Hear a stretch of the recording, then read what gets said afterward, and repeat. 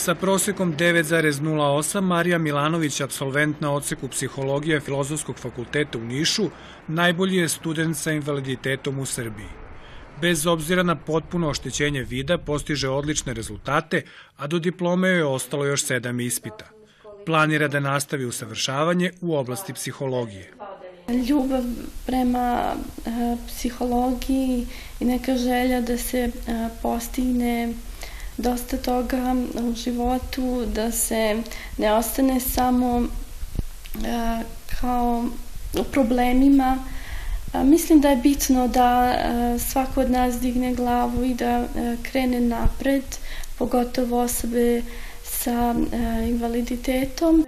Marija kaže da je za osobe sa oštećenim vidom studiranje otežano jer se predavanja snimaju, a knjige skeniraju i prekucavaju. Pojavom Microsoftovog govornog programa Unreader ipak sve je lakše nego pre par godina.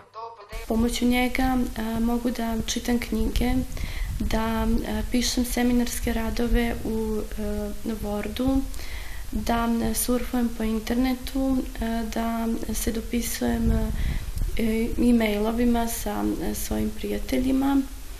E, to mi puno znači jer je na taj način studiranje i sama komunikacija sa spoljnim svetom osobama sa oštećenim vidom dosta olakšana.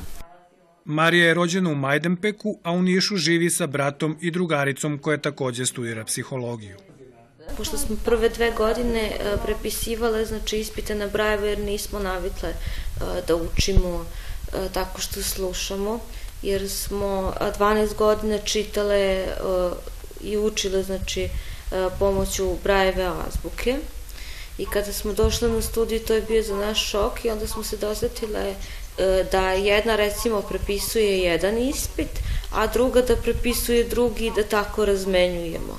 Vola bih da se zaposlim, nadam se da ću tome uspeti i da će se stav ljudi generalno u društvu i samih poslodavaca prema osobama sa invaliditetom promeniti.